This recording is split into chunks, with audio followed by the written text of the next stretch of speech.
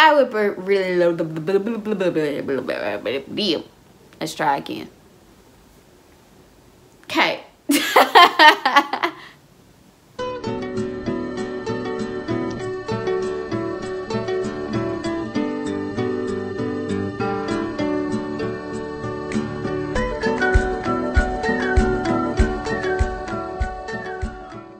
Hey y'all, this is Amber. Welcome to my channel.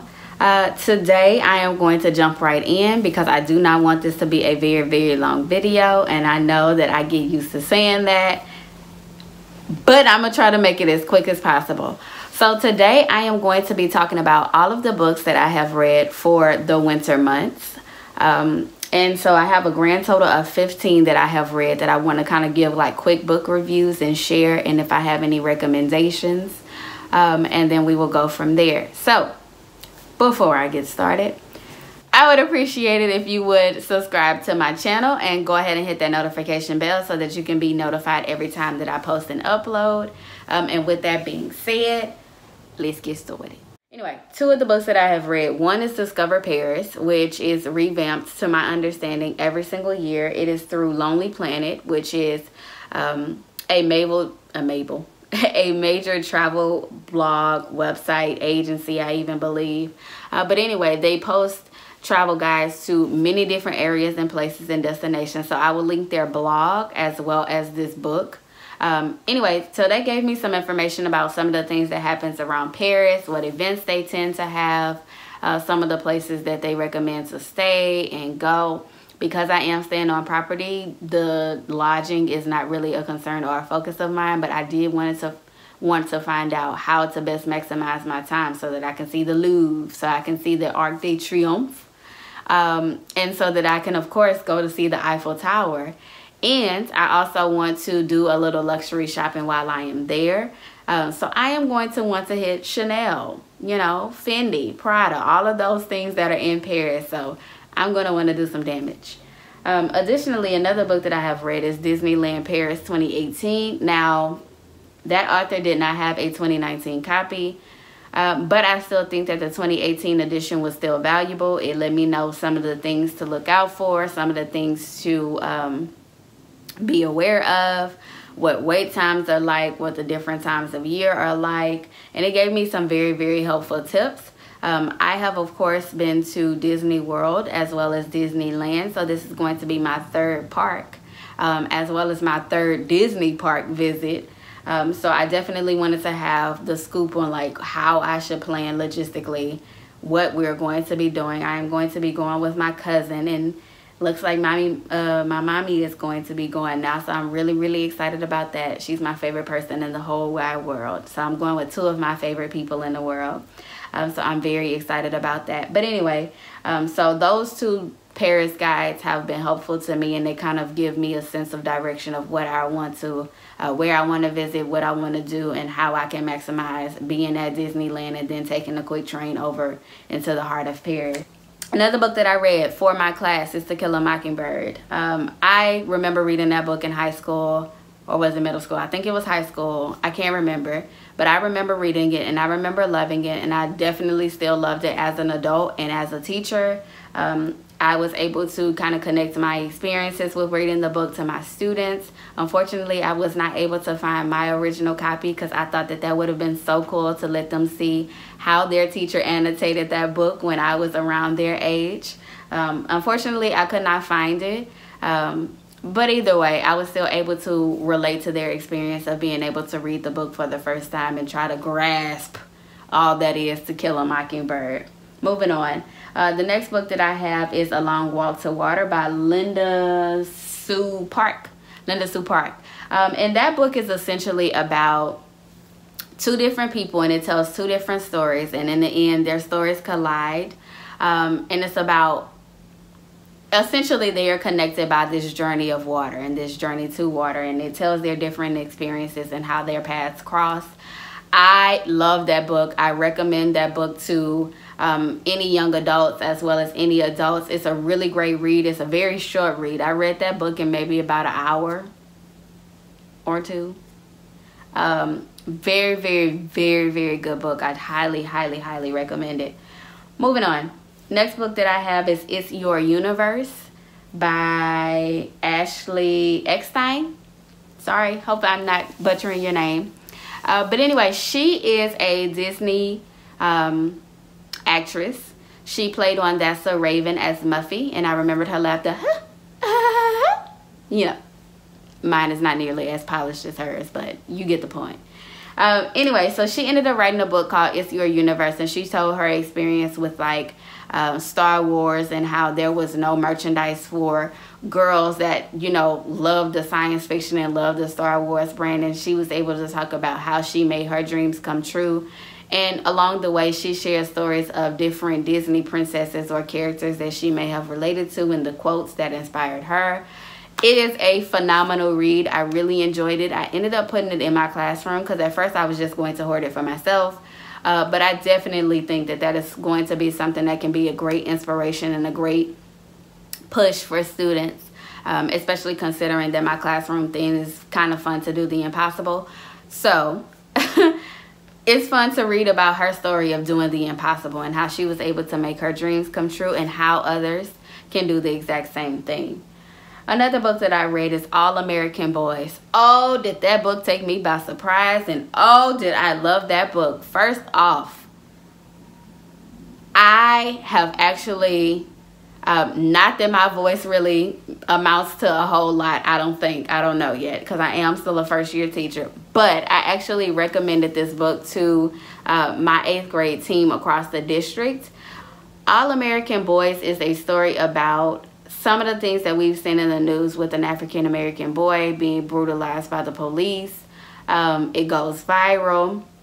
The only difference is we have a white student that actually witnessed this scene and he had a connection to the police officer and so their stories unfold and again it's kind of like one of the stories somewhat kind of collides in the end not very much uh, but anyway, I really, really loved it. I really, really recommend it. I went in my classroom shoving the book at any student that would take it and read it. Um, it is a wonderful read. Five out of five, ten out of ten, a hundred out of a hundred. I loved it. I definitely recommend it.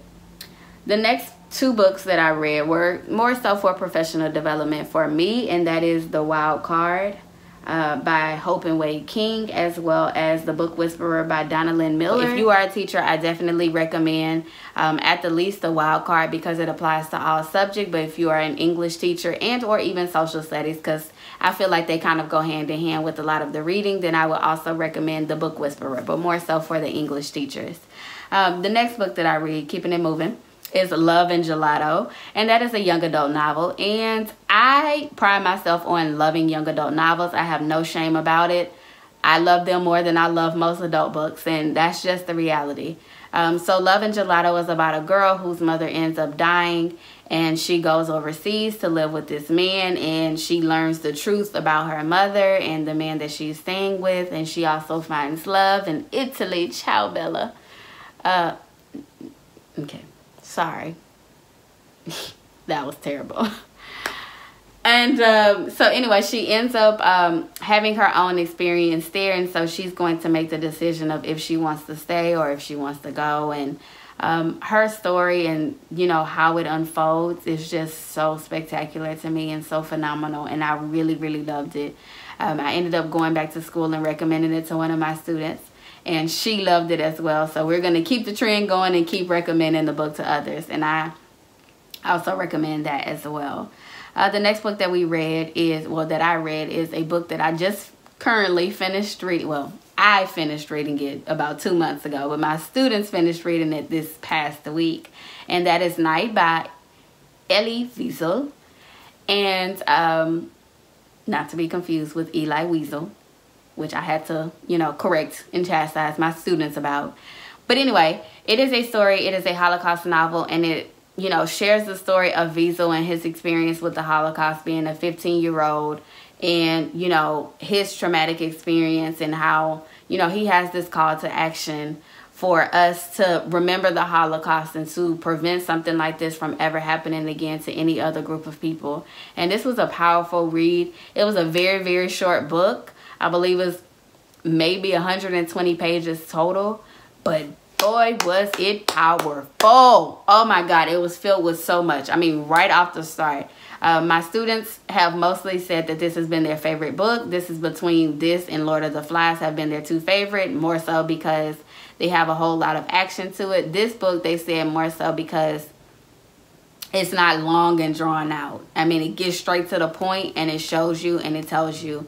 And you get to feel the emotions and the experience of Wiesel. And, and one of the things that I pride myself on doing, which is also something that I learned from the wild card, is I do these room transformations with my books. So I actually put up the um, the barbed wire fences and I, you know, let the students come into darkness and feel the somber mood. And I gave them identities of people who were involved in the Holocaust and they got to figure out whether their person survived or whether they uh, perished or were a victim. Well, all were victims, but whether they were able to live or die as a result of the Holocaust.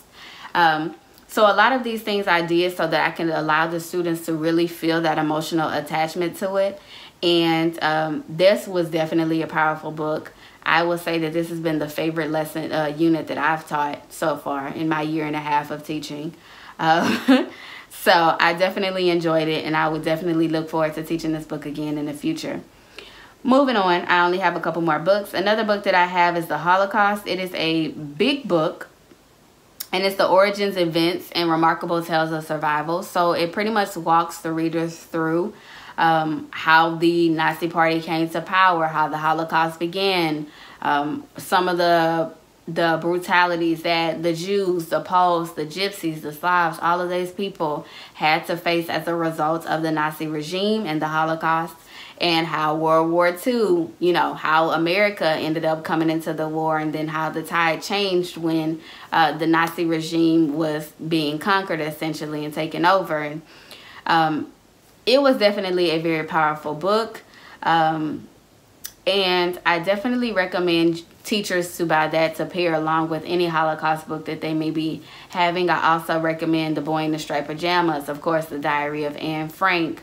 Um, and there are quite a few other Holocaust books that are very good. There's um, a couple scholastic books. I know it's like uh, one is like Making Bombs for Hitler that tells like a real firsthand experience. Um, and so I definitely, definitely hands down recommend um, getting that along with the night book. And I will make sure to make note of that down in the comments below just so you won't have to remember that for yourself. Um, last two books, guys, and then we're through. Um, the next is On the Come Up by Angie Thomas. Oh my God. So she is the author of The Hate U Give, which I completely adored. I showed my students the Hate U Give movie. Um, and we were, I've recommended the book to a few people. Now, I mind you, um, the movie is PG-13, so I would recommend that your students are over that age or your children are over that age if you allow them to watch the movie.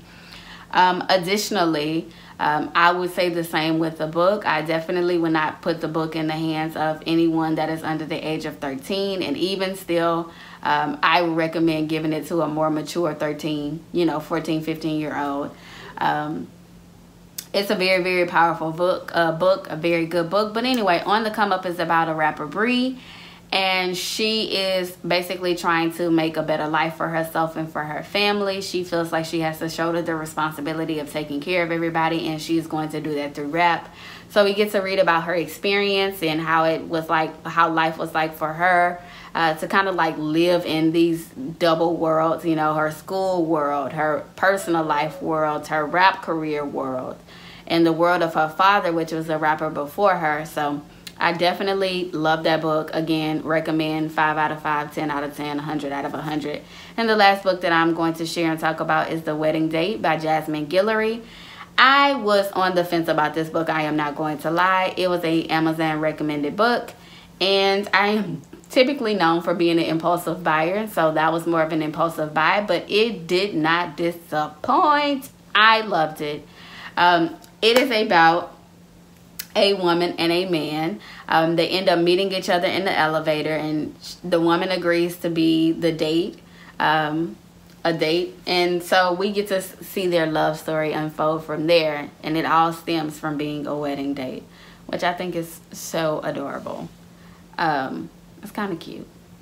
It's actually very cute. it was a cute book. Uh, so I enjoyed that as well. So those are all of the books that I have read so far. I have read a total of 15 books this year. Once again, go ahead and hit the like button so that I can continue sharing content and so that we can continue to grow as a channel. Also hit that subscribe button and the notification bell so that you can be aware every time that I make a post. Additionally, if you have any book recommendations for me, I always love them. So please leave them in the comments below. And I will see you next time. Thank you guys.